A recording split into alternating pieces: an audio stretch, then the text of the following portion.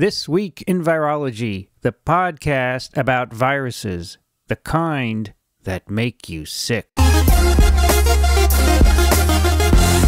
From Microbe TV, this is TWIV, This Week in Virology, episode 989, recorded on March 3rd, 2023.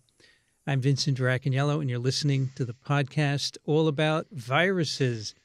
Joining me today from Fort Lee, New Jersey, Dixon Despommier. Hello, Vincent, and everybody else. Um, I guess a quick weather report. It's uh, overcast and uh, threatening to rain. Yesterday it snowed. Um, it's cold, and uh, guess what? It's winter, but we're not used to winter, so when it comes, we're taken back absolutely. Uh, but uh, at any rate, that's the weather from here. Also joining us from Ann Arbor, Michigan, Kathy Spindler. Hi, everybody. Here it's one degree Celsius and 36 Fahrenheit. I think it said, what was it? Yeah, 36 Fahrenheit. But this is the app that says it's raining, but really it's Really? snowing. It's and it's snowing? supposed to be raining and snowing and 6 to 12 inches of total Oh, wintry mix goodness. by 4 a.m. And yeah, not nice. Also joining us from Madison, New Jersey, Brianne Barker. Hi, great to be here. Uh, it's 44 uh, Fahrenheit, gray, cloudy. you Yeah, sound so sad. It's a meh day. it is. Also joining us from Austin, Texas, Rich Condit. Hi, everybody. We have 72 degrees and sunny. I knew you'd say that. Really nice. It's uh, uh, it's uh, the red buds are blooming. The leaves, yeah. uh, the trees are starting to uh, leaf out. It's uh, essentially springtime here. I don't anticipate any more freezes, though we're not uh, insured of that. We did have a cold front come through last night, a really sharp one with um, uh, an impressive thunderstorm. We could use some more rain.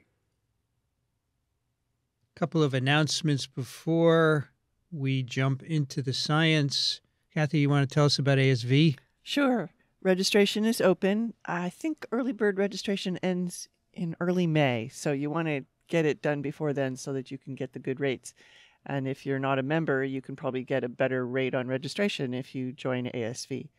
Meeting is in Athens, Georgia, June 24th to 28th at a beautiful conference center called the Classic Center.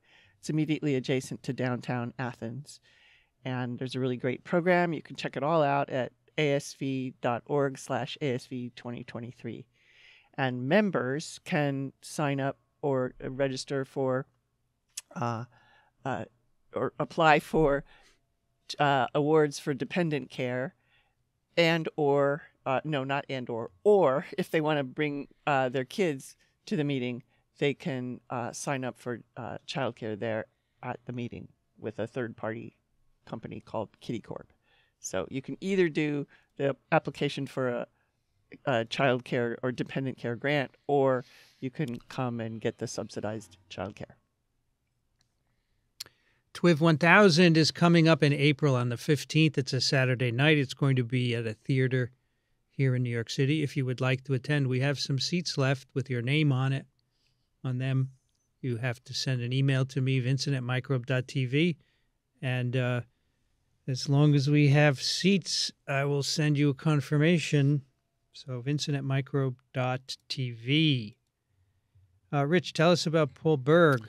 Right. We have uh, uh, an unfortunate obituary here. Paul Berg, uh, who died last week at the age of 96.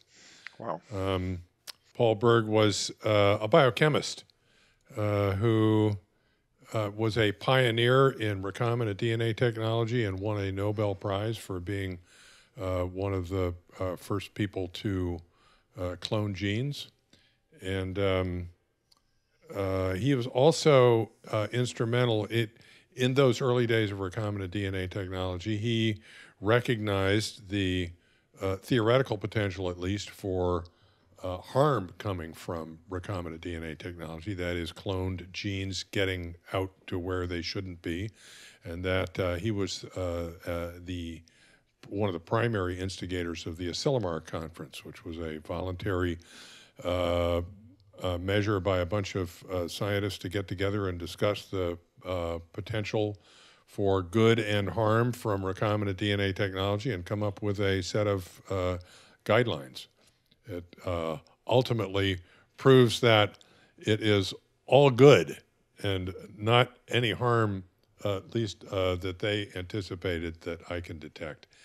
Uh, he was known as a particularly humble individual who would never tout his Nobel Prize or any of his other honors, but just uh, do his biochemistry. I found in this uh, this and other obituaries, one of the things I found interesting was that um, he was recruited uh, early in his career as an assistant professor to Washington University by uh, Arthur Kornberg. And uh, Arthur Kornberg was subsequently approached by Stanford University, that was uh, starting a new biochemistry department, asking Arthur if he would um, start up this department. And Arthur said, uh, Yeah, if I can bring my whole department with me. and they said, Okay. And that included uh, Paul Berg, and that was the beginning of uh, uh, biochemistry at Stanford University, which is a world class department, of course. I was um, just uh, uh, I met uh, Dr. Berg on uh, a couple of occasions, uh, and he did some stuff for me quite generously. and so I appreciate him as a man of significant accomplishments and a real human being. So we, I guess, celebrate his passing in a way because celebrate his life. Hey, 96 years, not bad. 96 years, not bad. Good guy. Like to like to reach 96. Me too. He he is from Brooklyn. Cool. Uh-huh. Went to high school in Coney Island. How cool. I remember he had an accent. Right. Paul Berg. All right, so we have had many emails to talk about the Department of Energy report, quote, because nobody has this report. They're just news about it. So I'm going to wait and hopefully we get something. I emailed Eddie Holmes and Bob Garry, and they said, We don't know anything. We don't know what they have. Uh, I think it's important uh, news just to know that you uh, contacted a bunch of people and nobody knows anything.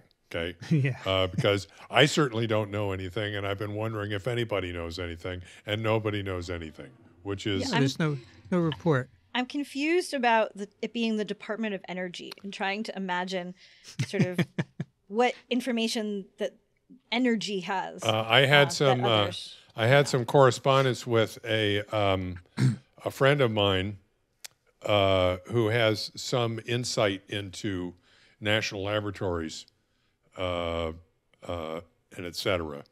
And uh, he points out that the Department of Energy has significant sequencing expertise. this follows on the World War II, when you know all these national la- these national labs have to reinvent themselves from time to time as uh, their uh, current mission expires. So, mm-hmm. after World War II, the national labs involved in the atomic bomb uh, project uh, needed to reinvent themselves uh, in some fashion or another, and some of them reinvented themselves as um, uh, genomics laboratories uh, with the rationale of uh, trying to understand the effects of atomic energy on genomes and uh, et cetera. And this involves, in the Department of Energy, significant sequencing expertise, which I would assume uh, then uh, involves a significant sequence analysis um, uh, expertise, and I will say no more. We because I don't know anything. That's anymore. really that's that's really interesting and helpful. Yeah. Well, so. I don't think there's any phylogenetic tree in this report. No.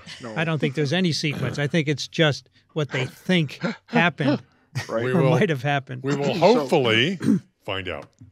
It's interesting that I was uh, consulting for Los Alamos Labs uh, when the DoD uh, changed its name to the DOE. Hmm. The, week I was there, they actually changed their name because um, the DoD has a fairly bad reputation, as you know. The DOE has a wonderful reputation, so they were just going to, you know, atomic energy for peaceful uses, and that's the way they were going to proceed. And that was a while back, and I'm not sure that uh, I don't know what you're saying, Dixon. There's still a DOD. Yeah. Well, the DoD as we know it is is different than the DoD that was there before that. So Or the, a lot of that- labs in in in, uh, in the uh, Los Alamos area were working for the DoD, and suddenly they found themselves working for the. DOE. Okay, so they they were changed to be under a different agency, That is not correct. not That that is- the That's right. That's not right. that the DoD became the. DOE. No, no, no, no, no. no, Okay. no, that's right. But uh, they they did a lot of. Uh, it was like musical chairs almost, and uh, everybody was confused as to why that actually happened. But I think it was probably a international reputational uh, move on the part of the DoD. because So, you know, uh, Um, go ahead. uh, I talked to a couple of reporters this week, and I said, you know, we have a lot of evidence that this is a zoonosis. You know, I don't see any evidence that it came from just speculation. Even the FBI was was moderate confidence they had, I think, not low confidence or something like that. But I don't see any data. So until I see data, it's a zoonosis. So we'll we'll talk about it when um, uh, when we get some information. But I have low confidence that there's anything to this report. But I do want to talk about papers. That's uh, well, we have data. The papers are published. We have data, and our snippet today uh, actually was requested by quite a few people uh, before the DOE thing. But uh, I think we can do that because we have the paper. And for example, Natalie wrote. I enjoy listening to Twivel, though I must admit I haven't had time to listen as much lately as I used to. So I don't think you should write that, folks. It really, it really upsets me. Don't write it. If that's the fact, just keep it to yourself, okay? Make me feel happy, and all of us. My husband sent me this research study because he is increasingly becoming concerned about the COVID vaccines. I'm not entirely sure how to interpret it, as this is not my area of expertise. This UK based John Campbell, who's a nurse educator and has a PhD in education, I believe, has a YouTube channel where he looks at studies on SARS and the vaccines, and he believes we've all been lied to and manipulated and that the vaccines are more dangerous than the virus. I would love to hear your thoughts on this. So, uh, Natalie, the vaccines are not more dangerous than the virus by far, by far. But John Campbell makes a lot of money by saying things like that. He has way more subscribers than we do on YouTube. Oh my gosh. But uh, he did talk about this study and really uh, misrepresented it. So here we go. It is a short communication in the Journal of Pathology, Microbiology, and Immunology. Uh, and it is called SARS CoV 2 spike mRNA vaccine sequences circulate in blood up to 28 days after COVID 19 vaccination. This is from a group of people at Copenhagen University Hospital and the University of Copenhagen. This is one of these convenience studies where uh, this laboratory is monitoring patients who have hepatitis C virus. And, well, they happen, they, they, what they do is they take blood and they extract RNA and they do uh, high throughput sequencing or deep sequencing, whatever you want to call it, next generation sequencing, and to see uh, what's going on with their hepatitis C. Uh, and they unexpectedly found some SARS CoV 2 vaccine mRNA sequences. And that's what the paper is about. So we have 108 hepatitis C virus patients, five negative controls, and five uh, Hep C virus grown in cell culture, right? The positive control. And so they are these these these samples, these bloods, are um, being sampled to look for hepatitis C virus. And what they do is they you sequence the RNA and you read it many times, and you assemble the reads into longer, what are called contigs. And then they look to see what these contigs match. And most of the time, they match hepatitis C virus or other cellular RNAs, I guess. And then um, in this study, they found some that matched coronaviruses. Uh, and eventually, they realized that these were coming from the mRNA vaccines because the mRNA vaccines remember it's the spike mRNA sequence. They have some modified bases that are unique, and uh, so they could tell it was the mRNA vaccine. So they I liked how they described that that they were looking at sequence that was part related to the vaccine and not the virus, and I thought that that part made me happy to read.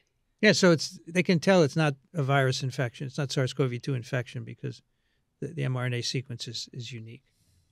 So they all in all they have eight sam- uh, 10 samples which have uh, reads that match the uh, mRNA vaccines. And uh, so so here's the problem the first problem. So 10 of 108 that's 9.3%. So Campbell says 9.3% of everybody in the world who got uh, these mRNA vaccines have mRNA for 28 days.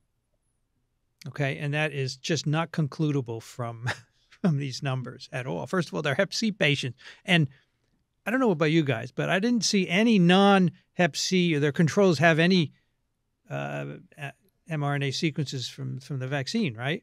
Uh, I couldn't. Uh, I I saw your question in the notes, and uh, the definition of what they're calling negative controls to me is ambiguous. Um, uh, I don't know if that's people who didn't have Hep C or people who've never been vaccinated. So I couldn't quite make that out, and I can't. I can't decide from the paper whether the this is a Hep C specific phenomenon. One- so we'll- one thing that bothered me early on, like right after I read the abstract, was like, okay, this is an interesting claim, kind of a one of those um, how you know uh, remarkable claims. So it should have some really strong data. So I expected them to say, we ran these positive samples multiple times, and every single time they came up positive, or Mhm. or something uh, showing us the reproducibility and the rigor of it.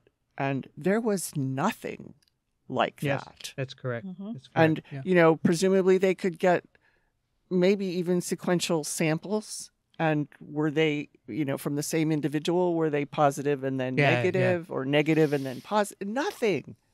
It was very no, this is just they got these HCV patient samples and they found this and that was it. They didn't do anything else, right? Yeah. That's my my big question was these are all chronic HCV patients.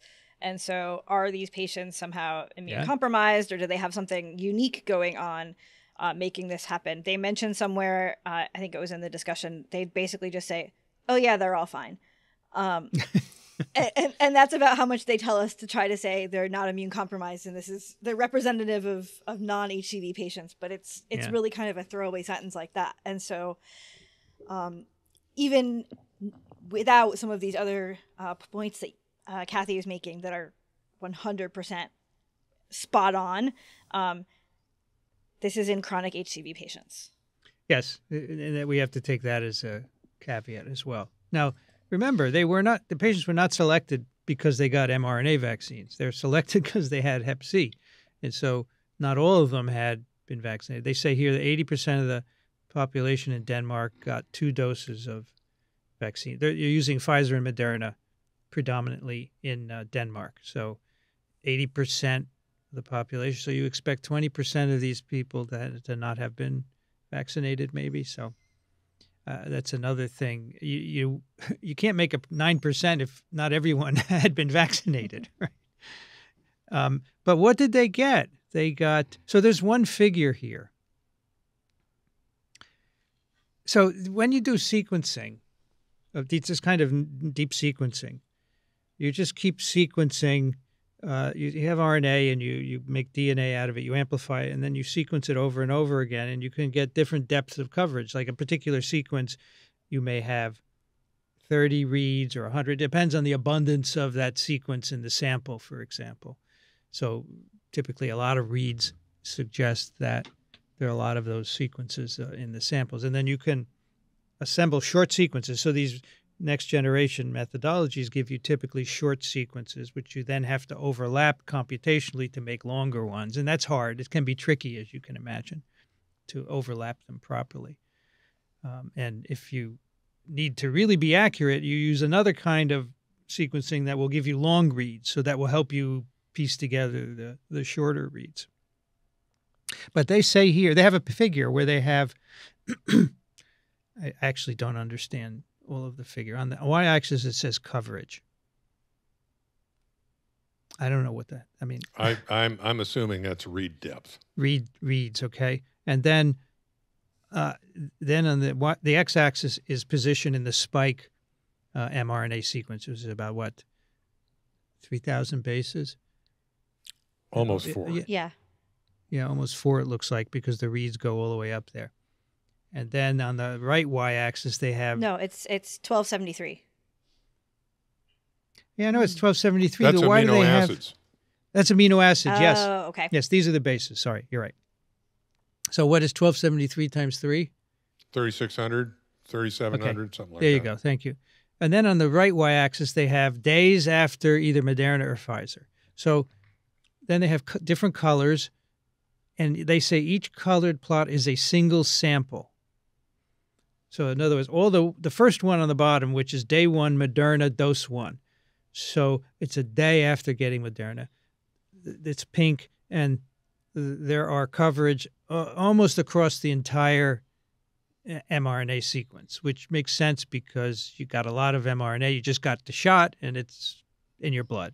Okay. Yeah, so I'm taking this as that these are the 10 patients. Yes. That And was Yeah, so we're basically seeing Yes. each one so one of the patients happened to go in for their HCV testing one day after they got their first Moderna Right. dose. Exactly. And then the next one up is uh, day five Moderna dose two, and there it looks like we have complete coverage of the whole sequence. They could put the whole thing together, and they said they actually had um, uh, complete coverage in uh, in that one. and really extensive depth. Yeah. Uh, A lot of depth too. Yeah, it goes up to forty thousand. Looks like so. The the more depth, as I said, the more uh, RNA there is. Then the next one up is Pfizer dose two on day thirteen, and now we just have one, two, three, four, five, five reads. It looks like across. So not a lot at day thirteen. and not much depth. right. telling me it's going down pretty quickly, right? Same thing with day 14. We have two reads, day 14, Pfizer dose one. And then, oddly, day 15, we have more reads. This is dose one of Pfizer. But, you know, people are all different, Right. right? So These are just I have no individuals. they're individuals. Then day 15, we have one, two, three, four, five reads. Day 21, we have three reads. Then day 22, we have one read. Day 23, we have two reads. And day 28, we have three reads. and the coverage is dropping, by the Yeah. way, as we're getting farther and farther out. And and they say, you know, in the in the text that if you get fewer reads, means you have a lot less RNA around. Um, and so we don't know anything about the physical state of this RNA, right? It could be full length, but we don't know because we don't have enough reads to cover it. There's just not enough RNA in there to cover it. But what we do know is there's not a lot of RNA, and there was just one patient at day 28 who had mRNA. There was one patient at day 23, one patient at day 22, um, one patient at day 21. You know, so I,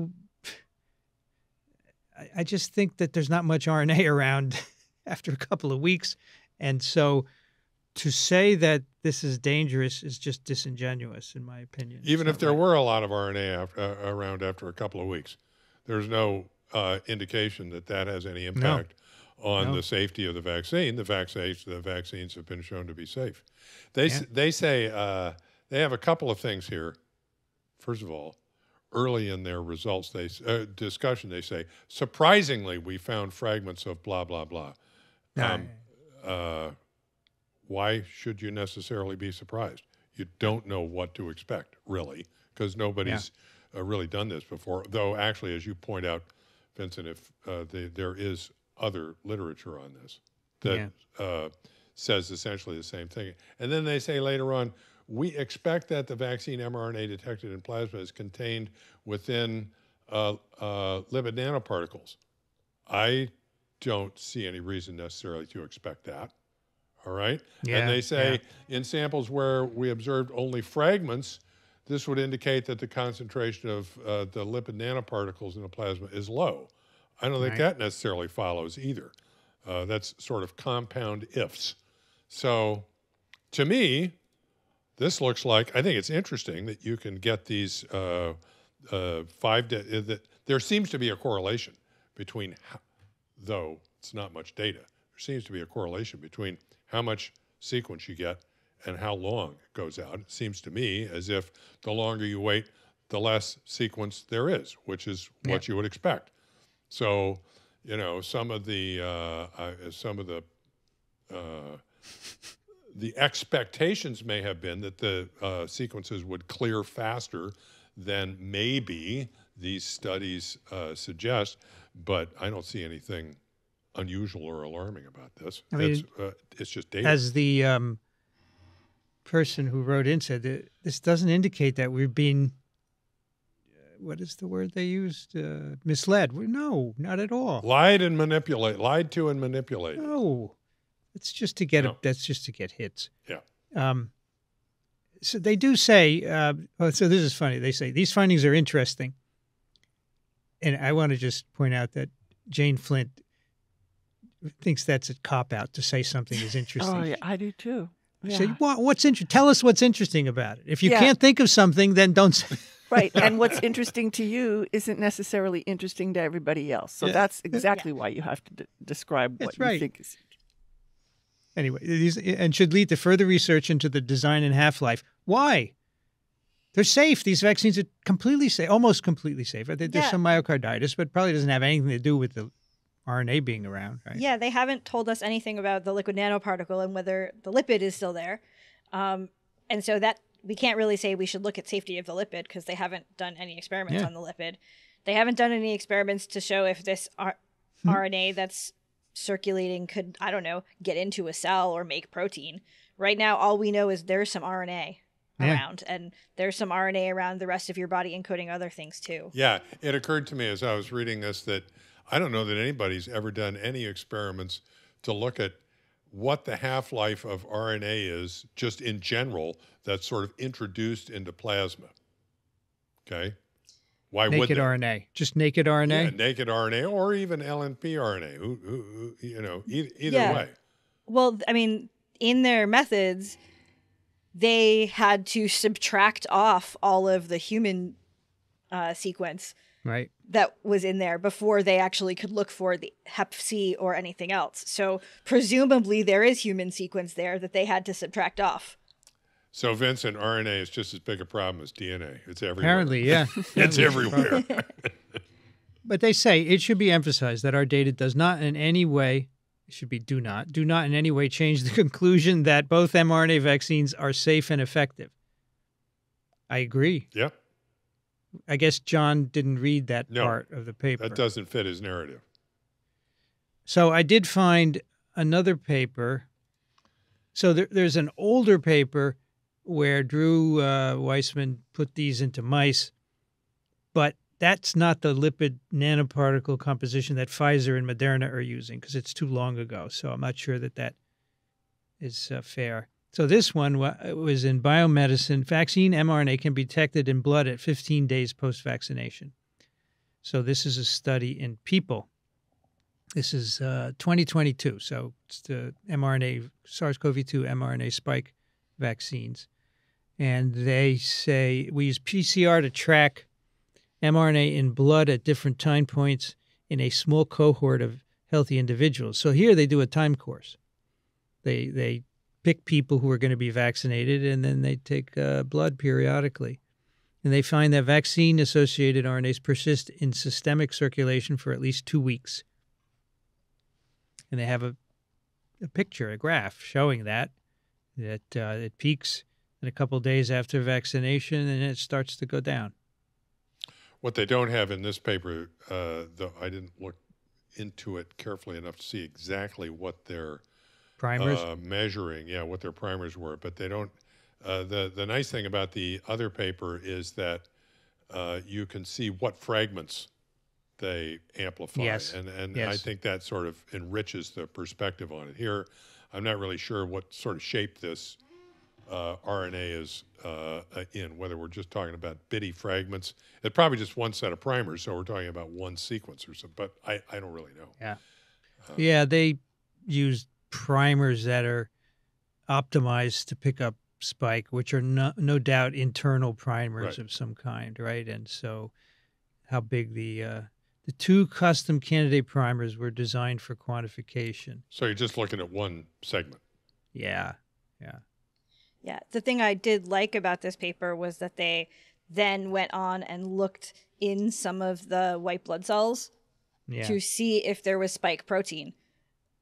Um, both by some EM and some uh, a blot, a Western blot, and Right. they showed that there wasn't protein production. So Yeah. again, maybe there's some of this RNA, but at least at a sort of first glance, they don't see protein production. Right. So I think uh, you know this is not a scary result at all, and I think if you want to really know how many people have RNA for how many days, you'd have to do a bigger study, um, because 9.3 percent isn't fair for the reasons we said, and only a few people have it out what beyond 15 days, and it seems to be very low in terms of the read. So And we don't know if it's reproducible, don't know even within your own data set. and if anything special about the Hep C, right? Maybe they're special in some way. So that's that. I just think they stumbled on it and they said just publish it and not do anything else. right? Right. Had, have any of you heard of this journal before? I've never heard of No. it. Right. Never heard of it. Yeah. All right, now on to a paper which uh, is very interesting. No, um, it's not interesting. It's provocative because it has cross reactive uh, antibodies against a number of common endemic respiratory viruses. So I would say it's interesting because of the methods and the approach they used, and also for the potential for treating people. So this is called cross-protective antibodies against common endemic respiratory viruses. It is by, it is in Nature Communications, Caban, Rodarte, Bibby, Gray, Taylor, Panchera, and Bunyarata Cornkit. Uh, that uh, and they're from the Fred Hutch Cancer Center and the University of Washington. So, um, respiratory syncytial virus has been in the news, as you know, but also uh, other respiratory viruses, human metapneumovirus, human parainfluenza viruses type 1 and 3 also cause significant infections. And, and they say these viruses collectively account for most of the respiratory viruses identified in hospital adults prior to 2020. It's four respiratory viruses, and they're also a big problem in immunocompromised people. Uh, they are a, a serious threat to them, and in particular, cause lower respiratory infections in hematopoietic stem cell transplant patients.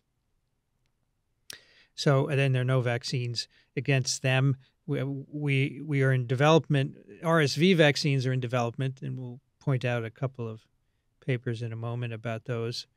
Um, but these others, and of course, if you uh, are dealing with immunocompromised patients, a vaccine is probably not going to work for them. So you maybe want to do uh, a monoclonal antibody therapeutic, and that's what that's what this is all about. Um, so, uh, monoclonal antibodies, uh, as you know, have been used for different times in the in the COVID uh, pandemic. There is a monoclonal against RSV, palivizumab. Palivizumab was approved in 1998. This is for use in high risk infants. And Daniel was talking about this yesterday. He said "W- hardly anyone uses it because it's too expensive. Yeah. It's like 25 grand a, Yeah, do- a- uh, uh, treatment or Uh, something. I don't know what it is now, but that was always my understanding was that it was exorbitantly expensive.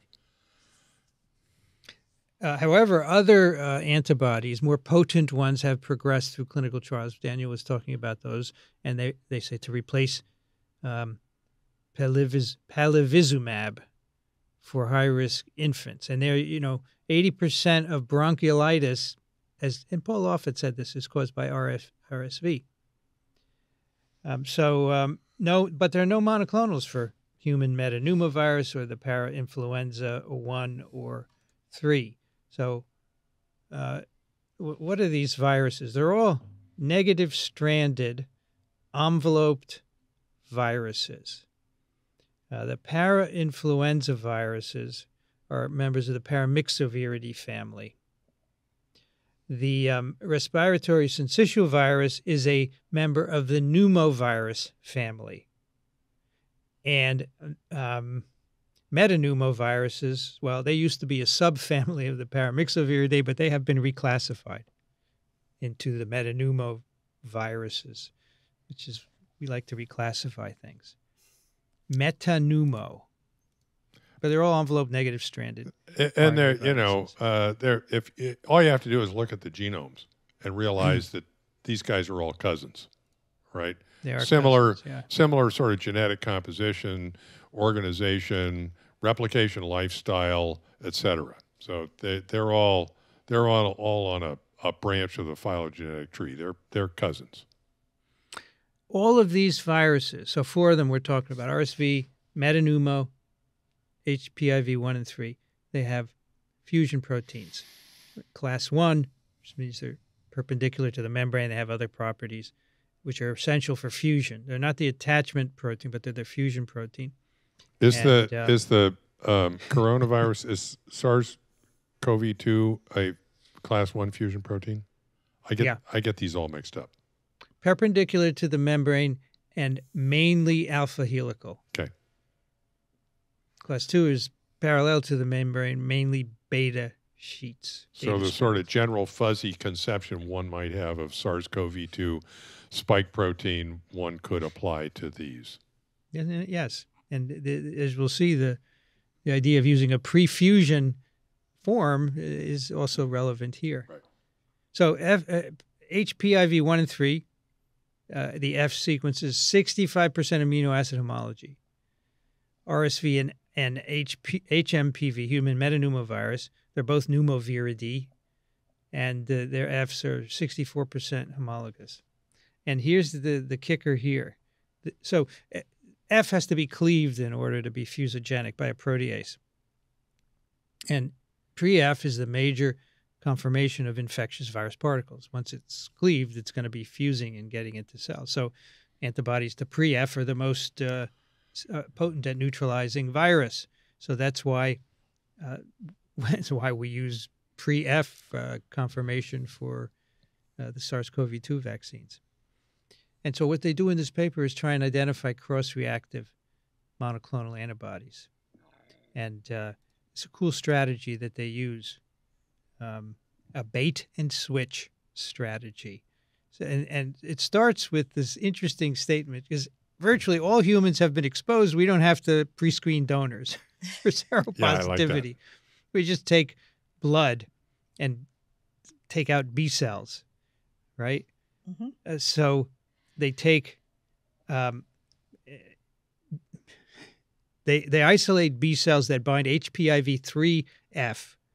They take 200 million human splenocytes, and they incubate them with tetramers of HPIV pre-F, pre-fusion conformation, conjugated to allophycocyanin, and tetramers of post-F, because they want to get rid of those. You want to get rid of antibodies that bind to post-F. So, um, Brienne, I wanted to ask why they're using a, a tetramer here for this. Um, they're using a tetramer here largely to increase avidity. Okay. Um, so they might be able to have more than one B cell receptor on the B cell binding to an epitope because Mhm. they're providing four copies of the antigen. Got it. Um, so that's going to going to give them stronger binding um, to the B cell and allow that uh, B cell to get sorted more easily. Um, so the B cells sort. have antibodies on their surface, and so they have the antigen as a tetramer, and then it's it's linked to a, something that can be sorted, right? it's linked to a fluorescent molecule, um, and then they can use their cell sorter to Mhm. sort any cells that are fluorescent, um, which means that they bound Right. to the antigen.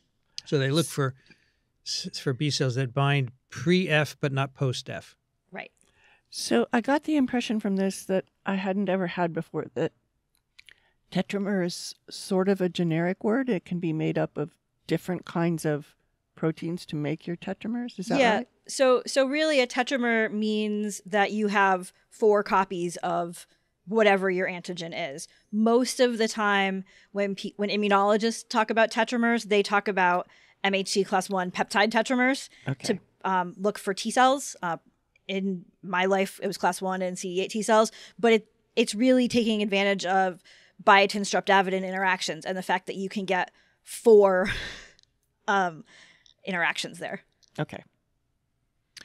So they got 900 B cells that bind pre F is HPIV3 pre F, but not post F. They put them one by one into wells with feeder cells so that they make antibodies. Okay, And so, then they- so I got it. I I have to. Uh, this paper's technically, technologically blowing my mind. Okay, so I have to ask Bree. I have to check in with Brienne on this. Vincent just sells. Uh, just said sort these B cells one by one into individual wells of feeder cells. So are we talking about like a 96 well dish with a single B cell in Yep. a well, and the feeder cells are have are genetically altered in such a fashion that they induce these B cells to make antibody uh, more, so right? yeah so basically um if i were setting this up i haven't set up an experiment like this in a while um perhaps i w- i would do exactly as you said in terms of i would sort out one b cell per well of the plate um, and then i would add in my feeder cells which as you say are genetically modified to produce the right growth factors to allow those b cells to become antibody secreting cells So, but the, uh, I mean, the, you got to have a single cell per well because you're looking Yep. for monoclonals, right? Yep. Yeah. Um, uh, but the B cells, they don't divide, right? You still just got one cell. um, i think they do divide Okay. Um, and so you, but you get a clone of B cells that all came from that same one cell to start with. Okay. Mhm. All right. And then you take the supernate, which has the antibodies, and you do neutralization assays.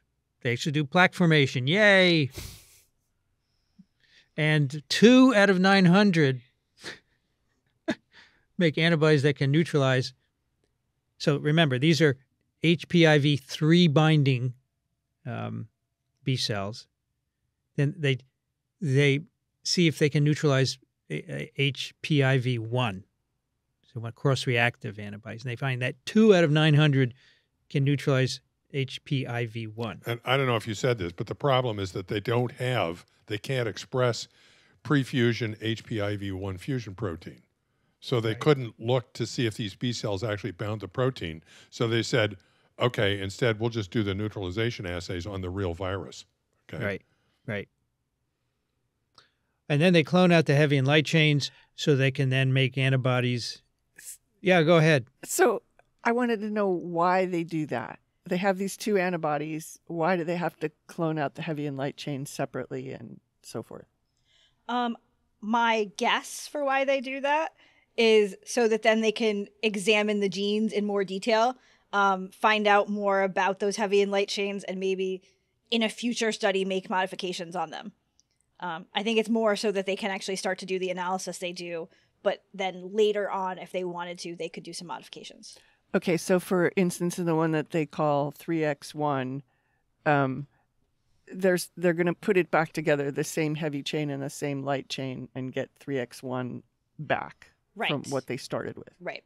Yeah. Okay. Again, mind blown. Okay.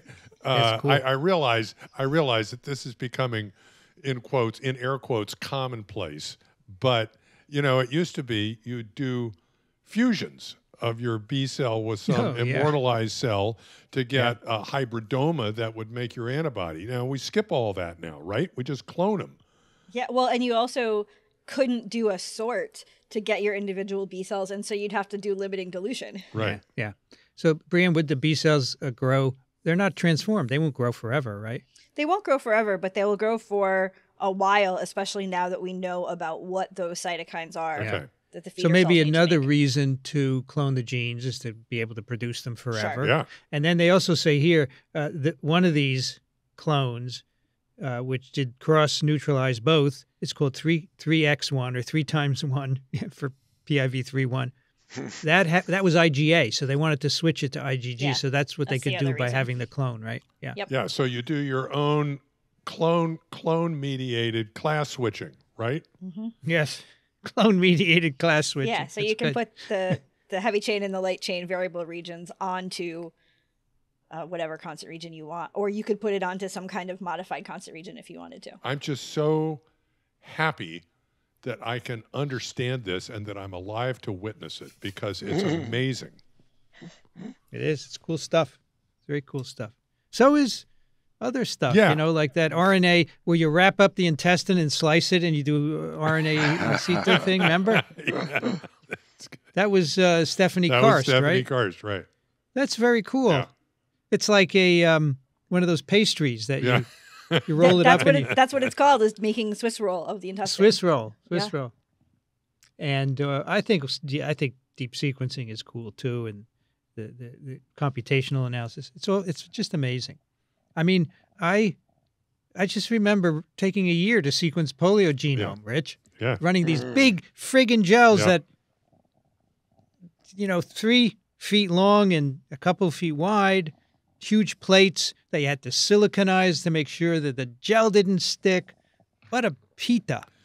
Yeah, that I, I, I whenever I think about that, I think about you know the really treacherous part was getting the gel off the plate onto a piece of Watman to dry it. You know, Yeah, that was hard because if you broke it, you lost Yeah. everything. But you know, we're complaining. I I came on the scene, and maybe Kathy remembers before us, they had to run tube protein gels and slice them all up. I had to splice them. But but we also had a way perfected to get the gel off the plate and onto the paper. It worked like a charm every time. So Yeah. that that was not a problem. People come up with their own little solutions. Yeah, Yeah. it's very cool. Uh, all right, so then, um, so they study the uh, the affinity of this antibody and its neutralization ability, and and they they basically conclude that it's there must be an epitope that's conserved between these two viruses, which which makes perfect sense. And I, I have to just say, in the end, we're not going to actually know about the conserved epitope. We're going to get some alert. we're going to get some clues, but we're not going to actually know in the end uh, how this thing is uh, cross protective. All right, so then they do some cryo EM structures. Um, uh, they they um, say that okay, so we, we they do cross competition binding to see where the antigenic sites are on H uh, PIV3 because that's not real characterized, and they say this one three times one doesn't seem to overlap previously identified antibodies, but it did overlap one called P13A12, and so they used cryo EM to see how these two sites of three times one and P13 are overlapping. They do cryo EM, uh, and they get a structure of of uh, the antibody together with HPIV3. Um, they also get um, a bunch of other stuff, but they could not determine from this if the if the antibodies overlap or not, and whether they bind distinct epitopes. I read this like ten times to try and get a message, and there is they said they don't know what the nature of the epitope is. One of the clues, though, is that uh, three times one uh, binds a cleft uh, in the virus uh, in the F protein, which they say is crucial for the pre to post F rearrangement. So that tells me that maybe this is stopping that rearrangement, and that's why it's neutralizing. Vincent, I thought the MRA was the message. yes, right. The medium is the message, right? Marshall McLuhan. Marshall That's right. McLuhan. That's right. So I guess what's what's missing here is that, as we already said, they don't have the other fusion protein uh, Yeah, that's available because the what what would be nice is to solve the structure of the uh, antibody bound to the other fusion protein, so Right. that you could say you know say more about the potential overlap between the two. And uh, there's only so I guess we don't even have a structure for that other protein if, No, if it don't. hasn't been expressed. And there's only what on these uh, is this the, these the ones where there's 65% amino acid homology. Uh, this is one of Yeah. these interesting cases where that doesn't sound like a whole lot, actually, of amino acid homology, but there's probably a lot more structural homology. Yes. Uh, but we don't know Yes. what. But we don't know what it is. Yeah. All right. So moving on to RSV and human metapneumovirus. Basically, do the same thing, right? Same kind of screen that we talked about before. They take B cells uh, from patients, and they get a um, uh, they get an antibody. They clone out the heavy and light chains, and so they basically find one that can bind both RSV and human metapneumovirus. Clone it. It's called MXR. Okay, metapneumo and RSV, and um, they produce it as an IgG1, just like the other one. And in this case, they have uh, both fusion proteins available in the pre-fusion That's right. form. That's and right. there's this uh, in the on along the same line of mind being blown. There's this wonderful uh, Mm-hmm. panel uh, sorting panel in Figure 3B where they uh, uh, sort in two dimensions against both proteins, and in the place where you would get binding of both, there is a single cell that they pull out of Indeed. how many hundred thousand cells to start with that they then amplify and do all this stuff on. Reminds me of the cloning of hepatitis C virus. Remember? Does Uh, anybody remember that? Mm-hmm. uh, what I was- remember, uh, no, I don't. I, I don't re- know exactly what you're thinking. All right. of. So they had they took. Kathy, just correct me if I'm wrong. They took blood from a Hep C person. They gave it to a chimp. The chimp developed Hep C. The chimp developed antibodies, and they used those antibodies to screen lambda expression library for the protein. And one, they got one positive.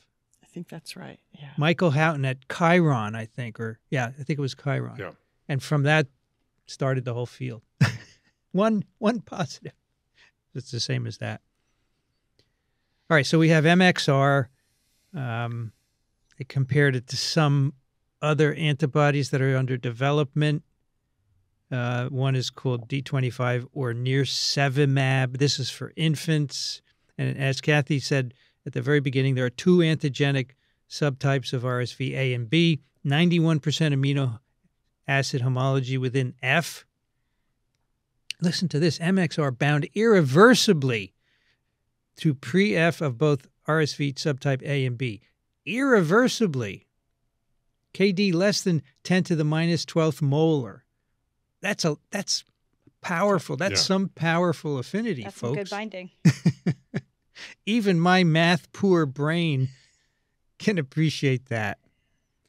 They compare this with all these other antibodies that are out there, and this one is better, basically, of all of them. And it, this is also combined F, of course, pre F of uh, H human metapneumovirus as well as RS virus. Um, Well, they Oh. com- they compared to uh, antibodies they already had that bound to RS. They didn't have any other ones that previously bound to metapneumovirus. That's right. Or, so that not only did this have amazing binding, it had this bonus of binding to more than one virus. They also said, okay, what about neutralization? so they take the two subtypes of uh, RSV and they compare it with palivizumab. Uh, the more I say it, the better I'm getting yeah, at that it. was good. Palivizumab. Uh, uh, is that the right way? Palivizumab? I think so. Sounds good. Um, MXR neutralized subtype A with six-fold greater potency compared to palivizumab. Palivizumab has a similar potency against both subtype. MXR was highly potent against subtype B with 12-fold greater potency. Uh, and then it goes on, but basically, it's MXR is really good for both viruses, better than palivizumab. So now we have two antibodies, each one against two, uh, neutralizing two viruses, a pair of viruses. They do a cryo-EM structure of MXR bound to RSV, and they say it binds primarily to what's called antigenic site 3, which is a quaternary epitope. Really complicated epitope fo- found uh, formed by a lot of protein folding, right? Parts of one protomer and parts of another uh, on the of the uh, of the F protein. Um, and again, there's a lot of words here about this structure, but it's not clear to me that in the end they figure out why it's cross reactive. Do, do you agree with me, or do you have some insight that I lack? I have no further insight.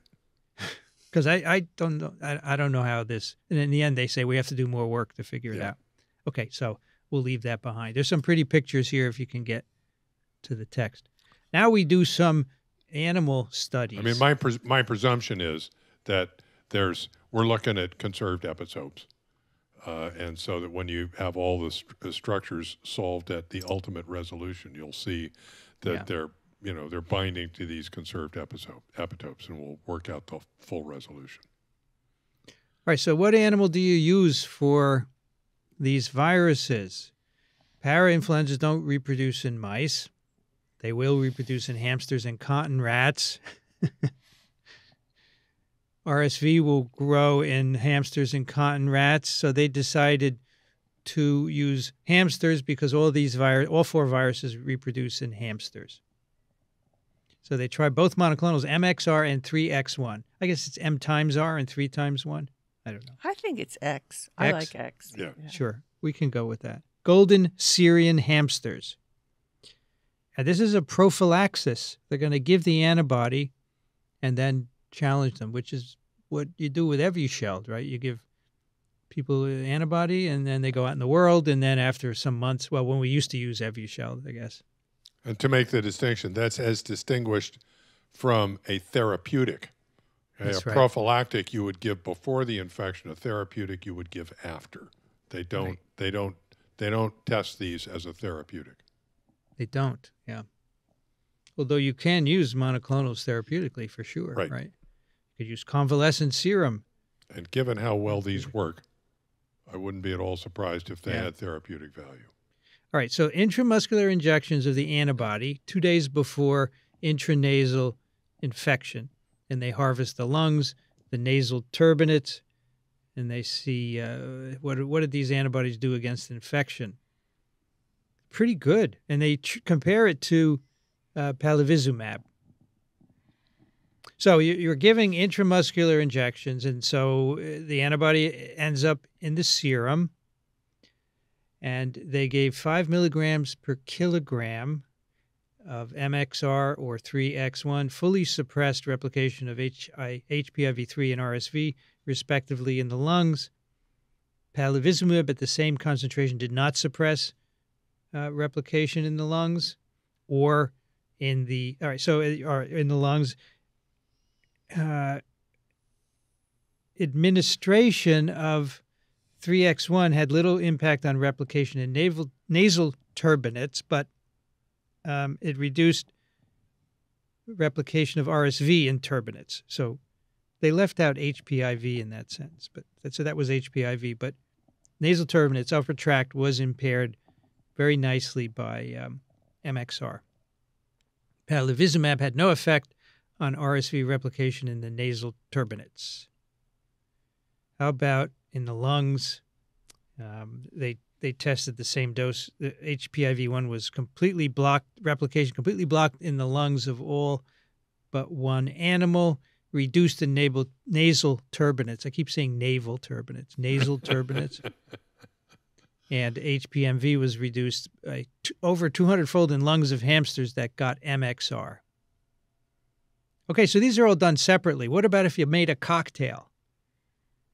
You know, you mix them all together. Do you like the word cocktail for antibodies, or should that be reserved for mixed drinks that humans consume? I think it's too late, Hey, Ca- Vincent. Kathy, what do you I- think? Do you like cocktail? I, I agree with Rich. It's too late. It's too late. okay. Doesn't matter whether we like it or not. I mean, I'm you know I make an enzyme cocktail when I'm setting Yeah, up a that's bunch true. of PCR reactions. I think it's Yeah. just like wishful thinking. I, I Yeah. think I've been making antibody cocktails since I was an undergraduate, so Yeah, you know, we like to use words like that. It's fine. I don't mind. But okay, so um, they they want to be able to treat people um, with both antibodies to get all four viruses, right? So they have a, a co- they made a co-infection model in hamsters, HPIV3, RSV, and that they could give MXR and and 3X1. And they say here, I read that plaque assay could not distinguish between the two viruses, so we used PCR. I was so sad. But then it, they, they do come back to a plaque assay later. But you could imagine doing some clever things to to distinguish, right? Well, maybe they could use some kind of antibody, you know, fluorescent antibody. Antibody, yeah, yeah, fluorescence, or maybe a cell that would distinguish between the two. Who knows, right? We did that with polio. We could use different cells to distinguish. Anyway, the um, they use PCR to look at viral uh, RNA loads. So, um, HPIV3 and RSV co-infect animals, right? Uh, they didn't see any decrease in replication in lungs simultaneously inoculated with equal amounts of both viruses compared to single. So they're not interfering with each other. Okay, that's good. And then they give hamsters IM this cocktail of MXR and 3X1 two days before um, giving the hamsters intranasally uh, HPIV3 and RSV. Harvest lungs and turbinates, five days. No, the cocktail did not impact HPIV3 replication in the turbinates, but reduced viral load in the lungs by over 88 fold. The cocktail reduced viral load, RSV viral load in the lungs and the turbinates by 17 and 2.9 fold. So, not a big effect in turbinates. And then they did a plaque assay to, um, you know, look at the total uh, virus, the, both both viruses together, and you could see that the cocktail reduced combined viral replication in the lungs to undetectable level and sixfold in nasal turbinates. So, Brianna, what's the problem with the turbinate? Is it problem getting the antibody from the muscle to the nasopharynx? Is that it? I guess so. Um, I'm not really sure. One thing I was looking at was that in both of these experiments, they're looking at the lungs and nasal turbinates at day five. Mm. And part of me wondered whether um, that's just, you know, the virus has done its thing in the nose. You know, if, it, if it's going to replicate, it's replicated in the nose by day five. I, I just sort of Yeah. wondered if day five was the right time for nasal turbinates, but I don't know enough about this to be real Yeah. sure. Well, there you go. We have two antibodies that will do uh, together all four of these viruses, and in, they in in in hamsters it looks pretty good. And so, um, what are we going to do with these? Well, I wonder. Well, we're going to hopefully they're good enough, uh, and we can make them in sufficiently inexpensive, so that we can uh, certainly use them prophylactically on immunocompromised individuals who are susceptible to this. And I would hope that down the road they may even have therapeutic value. Yeah. Uh, and I also, as, as as we were discussing this, I was thinking about the fact that, you know, the next pandemic, uh, and how are we gonna how are we gonna deal with it? Uh, we need to be able to to quickly develop vaccines and therapeutics, and I wonder how quickly this can be done, because clearly the technology is getting to the point uh, where uh, it's a, uh relatively relatively keyword relatively straightforward process uh, to get a, to make a monoclonal antibody against something. CEPI's new goal is to be able to uh, con- uh, confront a novel pathogen within 100 days. Okay, so I wonder if uh, I wonder if this is something that could potentially be deployed as at least one arm of defense against uh, a new pathogen in a pretty short period of time. I, I don't know the answer to that, but uh, I'm thinking about it. you you'd have to be able to get B cells in decent quantity from seropositive individuals, which Yeah. wasn't a challenge here because everyone has been infected with these viruses. Yeah. Um, so the question I think for me, the only question for me is, could you actually get B cells at a high enough quantity that you could sort out these rare um, neutralizing antibodies? You know, I don't think it's quick because we haven't had a new monoclonal in a while to match, you know, some of the Omicron variants. It's been months, many months. Yeah, And I'm, I'm sure they're working on it, but I don't think it's 100 days. Because you sh- we should have a new Evusheld to match Omicron subvariants, right? But we don't. It also occurs to me that probably now check me on this, Brienne. your best antibodies are going to be ones that have had uh, an opportunity to mature, right? Correct. So Mm. that may take some time. Mm-hmm. Mm. Yep. so that's where the convalescent serum can help. Yeah. Kathy to the rescue. for, for RSV is what he's referring to. Oh, I was wondering. Well, uh, what did what did Arturo say? They ask you if you've had COVID, and that's it. They don't actually check neutralization. They just check levels of antibodies, and that correlates pretty well with in people who say they've had COVID with neutralizing antibodies. But they say here, candidates together, uh, MXR and 3X1 represent promising MAB candidates for further development to protect against a broad array of respiratory viral infections in high, highly vulnerable patient populations. I don't know if four is a broad array. Is four a broad array? Just four. Why don't they say four? Four respiratory viral infections. Maybe they would work for some others. I don't know. But um, it sounds to me they can go into further into clinical development now. I Yeah. sup- I suppose they do some anim- some more animal studies. You know, make sure it's uh, not toxic and all that stuff, and eventually get into people. I think that's very exciting. So th those are why this is interesting to us. Indeed. But Rich, I think uh, the expense of this relates very much to how much research they put into it to begin with. And it's not how much it costs to produce the monoclonals, it's how much can you recover by selling it for as high a price as possible. You know, like the insulin uh, thing with Eli Lilly, they just recently came down to $35 a month for something that was producing for Hmm. them for years and years and years. They've more than paid for the research on that one. Well, there was an interesting. This is a bit of a sidetrack here, but there was an interesting story about that on, I believe it was on the NewsHour the other night, that Yeah, pointed out that. that when uh, Humulin, when the uh, you know cloned insulin first came out, that was uh, twenty one dollars a month. Yes, you're and right. it's when That's the right. insurance companies and the and the uh, br- uh, insurance company brokers became involved that the price really escalated um, uh, and so it's a it has to do as much with insurance companies and that whole uh, and the insurance company brokerage things the the brokers that that uh, pair up the insurance companies with the uh, with the providers that winds up jacking up the price. Uh, and it just it's enough to drive me crazy.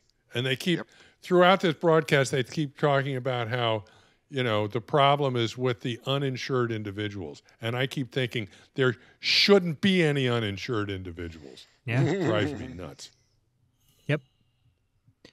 So for comparison, uh, there are two papers in New England Journal on RS virus vaccines for older adults. And the first one, respiratory syncytial virus prefusion F protein vaccine in older adults. I just want to mention briefly the the approach here.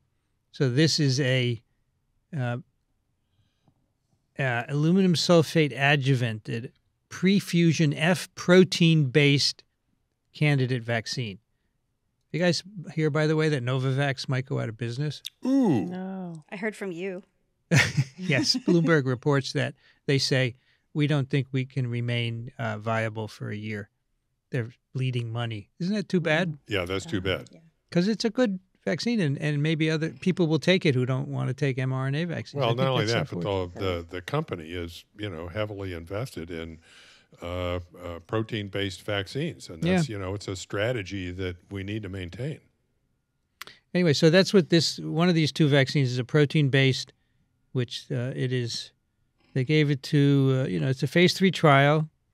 There's a placebo arm of adults 60 years or older, and the primary objective: vaccine efficacy of one dose against lower tract disease, confirmed by RT-PCR during one RSV season. Lower tract disease. Uh, so. Um, what are the results? 25,000 participants, 6.7 months follow up. Vaccine efficacy of against RT PCR confirmed lower tract disease was 82% in the vaccine group and uh, Well, it's 82%. They had uh, seven cases in the vaccine group and 40 cases in the placebo group. Wow. It's pretty good. Yep. And it was 94% against severe lower tract disease. Hmm. And the ba- you know, this is all clinical signs that they're looking at here. And it was similar against RSV A and B. Similar efficacy. And of course, the vaccine was more reactogenic than placebo, but most of the adverse events were transient. So that's cool. It's a protein based vaccine, phase three. So And, and this one, uh, the authors are from GSK. And so my assumption was that this was what the FDA meeting for the GSK vaccine was Hmm. about this week. But I haven't looked up the documents that went into that FDA meeting to could be. make yeah. that for sure. And then we have a second NG- NEJM paper, efficacy and safety of an AD26 RSV pre-F protein vaccine in older adults. So now this is vectored, but it's pre-F of uh, RSV. And this is again a uh, blinded, random, randomized trial, 65 years of, of age or older, and the the primary endpoint, lower tract disease. Um, confirmed lower tract disease. All right, 5,700 participants. And let's see, vaccine efficacy 80%, 75 and 69% for, for the three different case definitions. Case definition one was uh, three or more symptoms of lower tract disease. Case, case definition two, two or more symptoms. And case definition three, either two or more or one or more plus, Plus. systemic. sym- oh my gosh, it's so complicated. I like the other one better. This uh, this uh, this vaccine is um, actually it's interesting. It's actually a cocktail, if you like, of the ad vectored pre-F protein plus 150 micrograms of protein itself. And they don't. oh, that's right. It is. And they It's don't protein, say yeah. whether or not there's an adjuvant there, uh, but Yeah. uh, other I kind of chased that around a little while. I mean, it could be that the adenovirus itself could serve as an ad, uh, as an adjuvant, even for the protein Yeah. vaccine. Uh, but uh, the uh, other studies looking at the protein by itself say that it doesn't work well without an adjuvant of some sort. And and this one was funded by Janssen. Right. So at the bottom of the first page, it tells you it's the Cyprus trial and was funded by Janssen, and the So other that's one their. indeed was funded by uh, GSK. So Is that the same vector that was in the COVID vaccine Yes, by Janssen? twenty- I think 26. so. Yeah. and that had problems, right? Well, Mhm. uh, and actually, I just before the show had some correspondence with an acquaintance of mine who was with Janssen and is now with Novavax uh, Oh. about about this whole thing. uh, because every time I think about the adenovirus thing, I think about the uh, rare, albeit uh, uh, extant, thrombosis side effect. Yeah. That's like yeah. it's like one and a half a million or something like that. Um, Wasn't that in younger? it was in folks, or was females, and it was Okay. younger females. Yes, I believe Yeah. that's correct.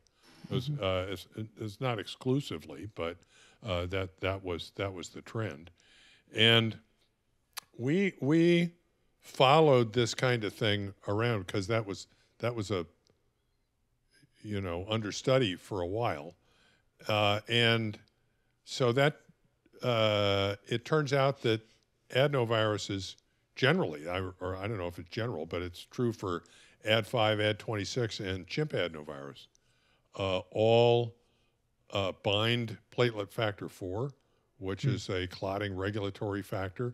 So that uh, has the potential to dysregulate clotting, and that presumably accounts for the thrombosis. And then we uh, did another paper that actually solved a structure for the binding between adenovirus capsids and platelet factor 4. Uh, and I believe that same paper showed that you could. Uh, Kathy's looking skeptical here. um, are you sure it's four? It's not protein nine or uh, I thought it was platelet factor 4, okay? but I, I could be wrong. Yeah, it's PF4, I think. Yeah. Um, Okay. And uh, they solved the structure of the complex between adenovirus and PF4. And I believe that same paper may have uh, identified right. changes that you could make in the capsid so it would no longer bind. And I remember us discussing that if we were in the business of adenovirus vectors, we'd be working on a vector that wouldn't bind PF4. Now, right. now, uh, I think that there's a, a, a chain of assumptions here. The assumption is that it's the binding of the adenovirus capsid to, plate, uh, capsid to platelet factor 4 that is essential for this thrombosis. And I don't think anybody's proven that. Okay. But, you know, adenovirus vectors are getting used for lots of different stuff. So if I was in the ad business, I would have a, a department that was working on engineering an adenovirus that studied this problem and was lo- working on engineering an adenovirus that didn't do this. Uh, but to my knowledge, that's not happening. Because the Janssen vaccine was is not really used in the U.S. Well, for that reason. Uh, Yeah. Uh, uh, Yeah. But the the the problem is that this only this this is the kind of thing that's so rare that it only shows up when you distribute your uh, your ad based uh, therapeutic to millions of people. Yeah. Correct. The the Janssen was the same as the J and J, yeah. Yes. right? So it was used initially in the U.S. Yes. Correct. That's right. Okay. That's right. But I think it's really tailed off Oh yeah. after that. Janssen basically is the company that does this that was bought by J and J. Right. Okay, so same thing. So I presume these two vaccines are going to be reviewed by the FDA and uh, The I believe the GSK one was one of the two that was reviewed Yeah. this week. so maybe they'll be licensed in the next few I don't know, months. And and Daniel said that Pfizer i- i- he said it on the program the other night, so it's okay to say this Pfizer's uh, been working on a vaccine for infants. You immunize the mother in the second, third trimester, and then the, the baby is protected. They have some data on that. Actually, he he gave it in his um, clinical update. Right. So the because I was trying to figure out if if this uh, Ad twenty six thing was related to the Pfizer one, but in fact, the Pfizer one for older adults is called Renoir. That's the clinical trial name, and the N O of Yes. Renoir is for in older adults, and then the one for maternal immunization, they've they call it Matisse. Matisse, yeah. So they're in this uh, My goodness. art Yeah, uh, thing for their I like clinical trial. Matisse. Yeah, I remember that. I like that. Um, let me tell you. Um, I'll pull up Daniel's thing. Uh, what's yesterday? The third, second, March second. I can tell you the numbers. He he did read them off, and um, here we go. By the way, FDA just approved a test, an at-home test to uh, detect flu and COVID and, and SARS-CoV-2, and the company uh, is Oh. going. The company is now going out of business. Oh. So they approved it, but the company's going out of business. All right, where's the infant thing? Here we go. Yeah, Matisse. Uh, the um, it's a bivalent prefusion vaccine candidate. 81% efficacy against severe medically attended lower tract illness due to RSV in infants from birth through the first 90 days of life, 69% through the first six months of life. And so then at six months, you could get your own vaccine. it's not bad, right? Yeah, no, that's great. Mm. Okay. And the one that nobody can determine the structure for is the Jackson Pollock. Good, Dixon. I think you have that at home, uh, Brienne, right? I, I do have some Jackson Pollock uh, prints. at home. These are, of course, reproductions. You don't have originals. I do not. All right, let's do one round of email. Um, uh, Kathy, can you take the first one, please? Sure. Eric writes Hi, Twivers. I'm an avid TWIV fan and just listened to episode 983 with Scott Hensley. One of the things he mentioned is the paper showing that elderly people who had survived the 1918 pandemic as children are still able to produce an immune response to the 1918 strain 90 years later. But it strikes me that considering this fact to be evidence of a long lasting immune memory response is overly optimistic. In TWIV 966, Jeffrey Taubenberger asserted that all current strains of influenza are descended from the 1918 epidemic strain. If this is the case, then surely someone who survived the 1918 pandemic would have had their immune memory boosted many times by repeated exposure to descendant strains. Further, imprinting, or as Hensley would phrase it, original antigenic sin, would seem to make it likely that exposure to descendant strains disproportionately raised sensitivity to the parts of the original strain which are preserved in descendant strains. Similarly, if someone tests one of the survivors of the original 2020 COVID 19 strain 90 years from now, I would expect that they would find an immune response, if only because it is likely that descendants of our past and current COVID 19 strains will be circulating for at least the next 90 years. and that fact will mean that the immune response to the strain of original exposure will likely be repeatedly boosted. However, I'm not a virologist, just an interested non scientist who loves both the informative parts of TWIV and the friendly banter. So please tell me, am I thinking about this incorrectly? Best wishes, Eric. So, I- yeah, go ahead. Go for it. No, you go. I, w- I was going to say yes, Eric. I think that I think you're thinking about this correctly. Um, that some of the uh, papers about the long-lived memory in humans um, have different uh, controversy and different debates in the field. Um, the one that I use, there's one that I usually cite um, that shows uh, a similar. I think it only shows 75 years, um, but it is specifically looking at um, responses to smallpox vaccine with the idea that you wouldn't have to worry about this circulation. Uh, and that's why I always cite that paper instead of some of these papers, um, but because there definitely is that problem. Um, in fact, one reason why I'm so excited about a uh, paper that came out recently about the length of um, memory response persistence in mice because they didn't have to worry about some of those same kind of issues. But but the this descendant, all strains have descended from 1918.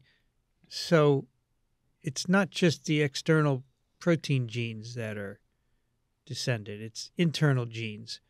And in fact, so the 1918 H1 circulated until uh, 1957, but it changed over those years. And in 57, it was the H was H1 was swapped out for an H2 but there were internal genes that were still from 1918. That's why he says all current strains and the H3N2s continue to circulate.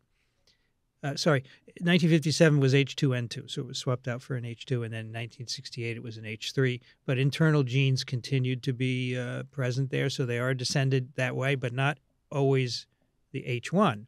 The H1 left in 1957. It reappeared in 2009 from pigs that had been infected in 1918 and it circulated in them all those years with minimal antigenic drift. Wow. And that's why when it came back into people, um, the only people who did not get infected were those who survived the 1918 pandemic. And so the implication being that it did change substantially in humans shortly after that, I suppose. And so uh, that's why those people lived. So So even I'm not though- sure that. Uh, So you're saying that even though you can say that all strains are descended from the 1918, that doesn't necessarily apply to the to the uh, epitopes, the That's right. immunology. that's right. Okay. That's what I mean. Yeah. Yeah. Yeah. Yeah, I, I think that that is totally true, but it, it, it still puts a little caveat on this study because you can't say that that person did not ever see that epitope between 1918 and 1957 or Yeah, sure. 2009 and 2020. Yeah, I don't know how much it changed and, and whether everything, whether every H1 between 1918 and 1957 Yeah. stimulated memory or made new B cells. We don't know. Right. Yeah. I also wonder whether the uh, you know original COVID strains are going to be around 90 years from now. Well, that's another Uh, question. Depending on right? how you define a, original, like Yeah. where's the Wuhan strain now? I don't know that it's anywhere. Okay. It's probably in deer. Oh, good. Actually, I Or bet mink. it's in deer, Actually. right? Or mink. or somewhere. I bet it's in nature because the deer seem to be uh, harboring a lot of these guys. But yeah, it might not change all that much. Who knows? I'm not going to know. I'm not going to be here in 90 ne- years. Not, not even Brienne's going to be here in 90 No, years. I won't either. But Eric, That's- clearly you're paying attention. It's good. Okay, and it's great. That's right. Uh, Brienne, Sure. David writes On TWIV 983, you repeated an outdated lament that industry ignores the development of antivirals because there is no market for them. In 2021, three of the top 20 selling drugs worldwide were antivirals. That's in addition to three vaccines targeting viruses, and doesn't include blockbuster drugs like Sovaldi, Harvoni, and Tamiflu. The future looks bright for antivirals. Many unmet needs with large potential markets, obvious drug targets, powerful new AI, ML, um, artificial intelligence, machine learning, drug discovery, and design tools. No concerns about on target toxicity, and improved diagnostics so you can get the right antiviral early when it will be the most effective. This is in sharp contrast to antimicrobials, where there is a real problem with market, market incentives. Antibacterial and antifungal drug development is a much harder problem. Microbes have been waging chemical warfare against each other for eons and are very good at resisting, degrading, excreting antibiotics. Um, and he gives a link. When a new antibiotic is developed, we have infectious disease committees rationing use, essentially guaranteeing that there will be no market for the drug. And then new antibiotics are released to the ag market and used in massive quantities, more or less guaranteeing that resistance will develop. It's a problem. One potential route forward are nonprofit consortia like the TB Alliance, which has developed a recently FDA approved new antimicrobial drug, Pretomanid. Um, and he gives a link. Uh, and uh, says, thanks, David. And he is from um, Angstrom Bio. I, I, I didn't actually say that. I said that we didn't have drugs ready for COVID 2 because after SARS 1, uh, it was over, and, and so there was no market for drugs. I was just talking about specifically that because if you it took a while to get molnupiravir and remdesivir and Paxlovid going, we didn't have anything ready. But I agree that the overall it's a good market. But you know, if there's a market, then companies will make drugs. But you know, after SARS one, there was no more epidemic coronavirus, so there were no drugs. Yeah, as I, recall, as I recall, your complaint was that there are, you know, there should be, um, uh, there should be research into um, drugs that are good on potential pathogens. So there's no current Yeah. market for those guys. All right, Yeah.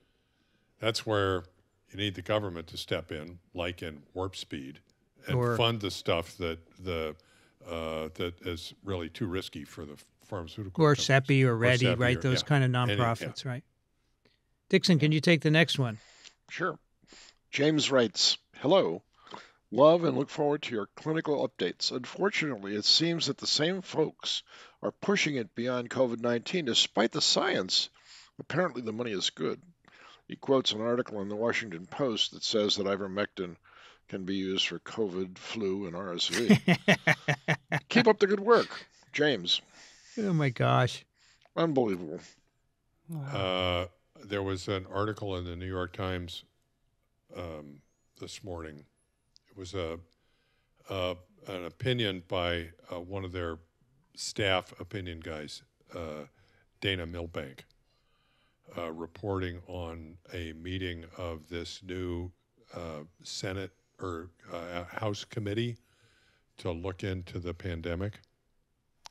And I will just say, actually, don't read it because it's too depressing. Uh, it's just all of the uh, c- uh, conspiracy tropes being dragged out and given air, and witnesses who are lunatics. Um, it's, it's really too. It's really too bad. I guess this is a good place to say, beware. Okay, put on your critical thinking cap, and when you see stuff coming out of some of these uh, committees, um, make sure that you use your TWIV acquired knowledge to ask questions carefully and ask, is this true or is it not? It's a good point. And with that, Rich, can you take the next one? Sure. George writes, I enjoyed the piece on CCP. That is, uh, con- uh, I'm not good at this. Con- COVID.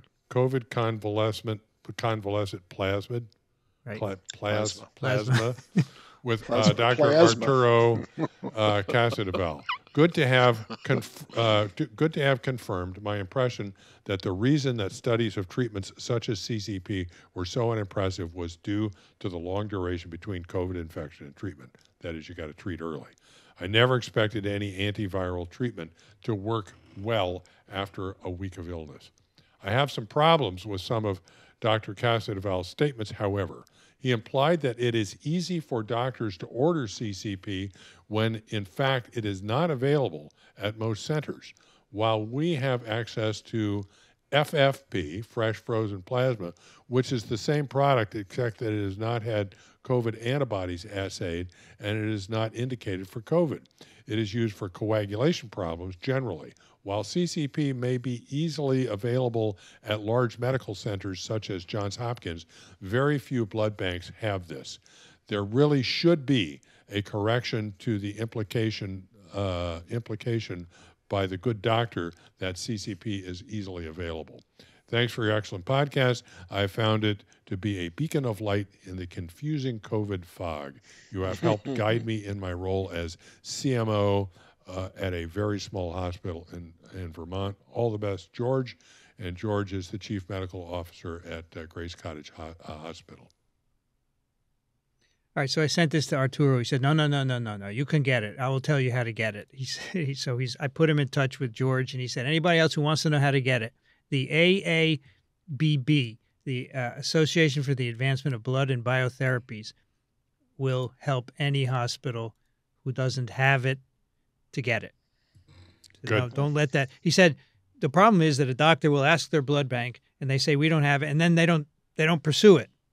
and it ends there. But he said it shouldn't. You you can get it. You just have to know where to go. And so he's putting people in touch with him. And uh, anybody else who thinks you can't get it, let me know. I'll send your email to Arturo. He said send me all the emails. Oof. All right. Then the last one today is uh, Charles.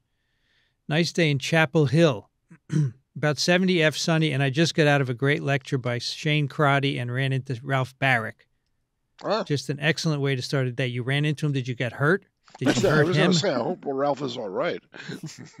This email was prompted by TWIV 987 and is a follow up to a letter of mine that you read on TWIV 942. My letter was about the biggest correctable mistakes we made during the COVID 19 pandemic. I said how long it took to get an EUA for remdesivir, and most of the panel talked about testing. he doesn't like that we ignored him. Okay. A big part of my bitching was about Watts, worthless, hopeless antiviral trials how Watts kept remdesivir from getting a timely EUA and how that cost lives. After listening to Arturo Casadevall, I would like to revise my opinion and say that Watts were the biggest problem and that remdesivir and convalescent serum were examples of why it was such a problem. Yeah, because it was too late. They treated too late, as uh, the previous writer said. Not only did Watts delay the deployment of effective antiviral treatments, they poisoned the waters for those treatments making them less likely to be used and muddying the waters so that ineffective treatments look the same in many trials. As for testing, if we do not have rapid testing, no antiviral is going to be effective. We need both good antiviral trials and rapid testing. If the CDC does a not invented here mistake again, all of those in that decision chain need to be gone that very second. It's just a coincidence that I met Dr. Baric today and I'm writing this letter. The letter was planned two days ago. so, uh, Charles, we were just being uh, deferential in that we wanted to come up with something else other than what you had said. You said it was Watts, and we said, okay, let's let's try and be unique. So, as you say, you need them both, right? Isn't that Mhm. correct? Mhm. Yep. Okay, folks, it's time for some picks. Dixon Despommier, what are we up to now? well, um, we're up to the drummers. I've got my jazz product project um, front and center here, and uh, the last thing we did was vibraphone. Remember? hmm and now we're doing drums and uh, another percussion instrument. Uh, my first choice is Sonny Payne. I, he was Count Basie's uh, drummer and was absolutely responsible for the the driving force behind such wonderful um, modern progressive jazz. I, I just uh, I've I've seen Sonny Payne perform. Uh, he's absolutely worth watching. Um, of course, he. I'm not sure if he's alive anymore, as a matter of fact, because the Count Basie Orchestra disbanded a little bit after um, Count Basie died. Um, but he was a wonderful drummer, and uh, the reason why the orchestra was so popular was because of the rhythm section, and the the basis for the rhythm section is drums. Hmm. The best drummer that ever lived, however, by everybody's estimation, was Buddy Rich. And Buddy Rich was a regular guest on the Johnny Carson show, and he used to come on and he used to teach Johnny Carson how to actually play the drums, and he used to sit with him sometimes and, and do that. He also played with Count Basie's orchestra. He was the only white drummer, the only white musician that ever played with Count Basie. He had that distinction, but he was a marvelous, marvelous drummer. Rufus Jones is my third choice, Maynard Ferguson Orchestra. And Joe Morello uh, for the Dave Brubeck Quartet was the uh, person behind all of those unusually, um, deliberately unusually, t- uh, time signature pieces that, uh, you know, like Take Five and um, lots of other uh, things that appeared on the, uh, um, the Take Five album there wasn't one in a, in a common 3 4 or 4 4 time. Some of them were really quite uh, difficult to keep up with, just to tap your toes to them. But Joe Morello was a consummate drummer, and he had a, a wonderful sense of classical music as well as uh, jazz. So these are my choices for drums. Hmm. Buddy Rich, huh? The best ever. That's what everybody keeps saying. They go back to Buddy Rich as the gold standard, and then um, there were people that came up almost as good, but not quite. Buddy Rich was versatile and um, he knew what to do. Let me ask you a, a question, Dixon. Please. Why aren't there any women in any of these picks of yours here? Aren't there any good women playing jazz? I never said there weren't. So no. name one. Name a good one. I want to know. A good listen. one. I know. I named one. Diana Krall. I named her. She's a oh, I remember her. Singer, yeah, yeah, yeah, yeah. A singer and a pianist. Uh, she's wonderful. I know her. Ella yeah. Fitzgerald. Come on, there's singers. I, I, not no, necessarily no instrumentalists. Yeah. Uh, although in there's a Japanese woman, and I'm blocking on her name right now, who runs a group that's, yeah. I mean, there's a lot of women out there that are quite, okay. uh, quite. I just wanted to know. I know the singers for sure, but I just wanted to know if they shied away from the instrumentals for any particular reason. Uh, when I get to my picks for the Dixieland Orchestra, you will see okay. that the leader of that is a woman, and uh, she's quite uh, adept at the trumpet. By the way, folks, if you want to hear some good jazz, come to TWIV yeah. 1000. Yeah. The Randy Despommier Quartet will be That's right. entertaining you. It sounds nepotistic, but it, it's they not. They have drums, right? Oh yeah. Oh, so it's I want a, when we say something funny, I want them to go vroom. well, I hope they can do. well, that means they have to listen. I don't know if they're going to be listening. oh, they'll listen, all right. But there's a little alcove for them to sit yeah, on yeah, the side. It's fine. perfect. It's perfect I've, for them. I've requested that they play some Dave Brubeck uh, music, so I think yeah. they will surprise you. I remember that the original so they're going to come back to the incubator and, and play will. for us here they were going to have a, a, female vocalist there right I, although we they said were, they, but they, they, you know you were right i think that would be an intrusive yeah. to the uh, the conversation kind of yeah. atmosphere that you want to create i want people the, to talk yeah, and if you have a lady singing or anyone singing, right, people right. are going to want to listen to them. Yeah, right? exactly right. Exactly so, right. But okay. we could we could do something later. I have some ideas about this. Well, this this need not be the. We can come back to the incubator in the future and have a yeah, exactly. uh, a jazz soiree with Despommier and wouldn't that be great? a little concert, yeah, no That's problem. right. Kathy, have you ever thought about singing uh, jazz um, in a jazz medium? I don't really think I have a solo singing voice. okay, Brianne, what do you have for us? Um, so I am uh, at the end of this episode officially on spring break. Um, and one of the things that I'm going to be doing on spring break is watching this uh, new HBO show that came out um, during this semester that I haven't had time for called The Last of Us. Um, one of the reasons why I will be watching The Last of Us is because everyone is asking me about it, um, as it is about a fungal pandemic. Uh-huh. um, that is sort of in this dystopian world um, where this fungus, cordyceps, um, infects humans and turns them into zombies. Um, and all of these terrible things happen. And because everyone is talking to me about the show, um, I have been reading about cordyceps when I have downtime.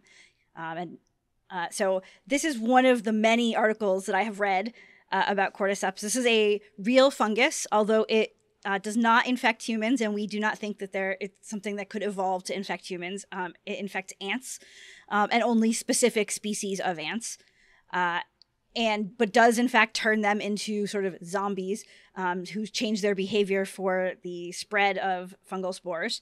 Uh, but and this is a really nice article talking about um, cordyceps and um, sort of exactly what is uh, the science behind um, The Last of Us, why people worry about uh, fungal pandemics, and um, kind of the timeline of what supposedly is happening um, in this pandemic. And since that is a main topic of discussion, it turns out when you teach microbiology, um, if there is a microbiology related show, um, I have suddenly started learning about this new microbe. Cool. Very cool. So, uh, this fungus uh, is really something. Yeah, it really is. They've got a great picture here. I, I, I have an old guy moment here, old, old guy vocabulary moment here. They got a picture down towards the bottom of the article with a couple of insects with cordyceps stalks protruding out of them because these fungi uh, make fruiting bodies out of these insects. So this is like really crazy. And it says, whenever I see an insect with cordyceps stalks protruding from its exoskeleton, I think, damn, nature is metal. Okay. so that's a novel use of the word metal to me. This is is that is is that is kind of a spin-off from heavy metal? Yeah, it's sort of you know hardcore Okay. and and and cool. Yeah, I kind of like that. Mm-hmm. There's a website called Nature is Metal. Is that right? Yeah. Whoa. Wow. I don't. It's a thing. Uh, it's beyond what that guy did. It's it's it's a meme or something. Huh. You know. Yeah. There, there are some other amazing pictures of cordyceps insects in some of the other articles I've looked at. Wow. Nature is They're all beautiful. very but- metal. There's a Facebook page. Nature is beautiful but scary too. Wow. Cool. Kathy, what do you have for us? First, I have to give you a wintry mix update. The weather app says there's been 1.15 inches in the last hour. Wow. Today's Gracious. total wintry mix will be 16 inches. Oh no. Hmm. Wow. It's a lot. I I like my old weather app much better. Yeah. and better forecasts. um, so uh, a piece of sad news. In the past, I know I've picked Physics Girl, and I think other people have too. She's done some really nice videos about physics things. The most recent one that I remember picking was about her going on a trip to the Arctic. Turns out she's completely debilitated by long COVID. Uh, she shared this with her Patreon patrons only. Um, due to her severe E ME/CFS symptoms, there are only short moments where she's able to talk, and most of the day she doesn't have mental or physical capacity to talk, see, or Oh, hear anything. So it's really sad. Our best to I'm- physics girl. yeah. Yeah. I mean, uh, probably everybody knows somebody who's got some form of long COVID, and Uh-huh. and other things happen to people, but she just seemed so full of life and was really good at science communication, and uh, just not fair. Mm. Uh, anyway, my pick is a, a podcast called "That's What They Say." That's actually derived from our local NPR radio station between uh, the announcer and an English professor here, uh, Anne Curzan, who recently became the dean of the College of Arts and Sciences, and we were all worried that she would stop doing these little radio bits, but um, she hasn't. And they're five minutes long, and they're about various topics. And this one that I have picked is about the pronunciation of primer or primer. And it was I I ran into her at a meeting in the fall and I said I think I'm going to send you this. And and I gave her some background both when I talked to her and when I uh, sent it in. And so she includes that in this. So she references TWIV although she doesn't call it that. She just said a podcast and talks about the recent time when I think it was Vincent who said I'm not sure how to pronounce it and I volunteered that I do know and so it goes on from there. So uh, you might like to hear this particular one. It's kind of meta, and then uh, there's lots of other short ones with uh, interesting topics that they do. So remind me, what's the bottom line on the pronunciation of this? So if you're talking about uh, a Dick, Jane, and Sally book or a basic manual of how to do something, it's a primer, Okay. and it's derived from one word, uh, a Latin form. And then if you're talking about how to uh, uh, prime for paint, for DNA synthesis with a primer. uh, she also talked about a couple other instances of it. Then it's primer, and that's derived from another word that uh, you just have to listen to the episode. Back in the old days when engines had uh, carburetors, yes. you could uh, yes. Start them up with a primer. Yeah. Okay. And she also talks about um, uh, uh, Bill Nye, the science guy, and how whenever he says the word, he'll say primer, primer, or primer, primer. so Yeah. he, he knows that people are confused. In the old days, we used to put ether in the carburetor, Yeah. Rich. Yeah, there you get spray cans of ether. Yeah. Which you Oh. can't get anymore, right? Right. Well, who cares? Yeah, you can't you can't get the spray cans of ether, and you don't have carburetors anyway. So That's right. One- One other thing is that uh, in England, um, back it sounds like it was in the I think it's in the late 1800s. They switched to pronouncing it primer, no matter which way it was. Ah, Whereas we have hung, hung on to the older Hmm. primer pronunciation. Cool. Interesting. Rich, what do you have for us? I strongly suspect that I have picked these before, but I don't care. I'm going to pick them again.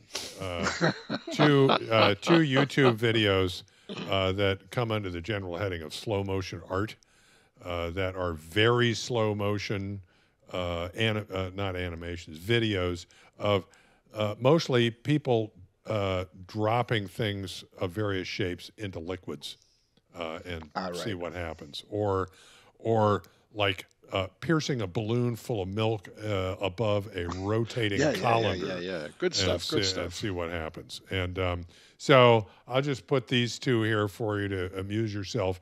And if you do that, of course, YouTube will help you fall down the rabbit hole of slow motion photography, and you can go on for the rest of the day. Rich, have you ever seen ultra slow motion lightning? Ooh, It is amazing. I'll bet. Absolutely that sounds good. amazing. I like that. Uh, my pick is uh, an app called Grammarly, It's a good one.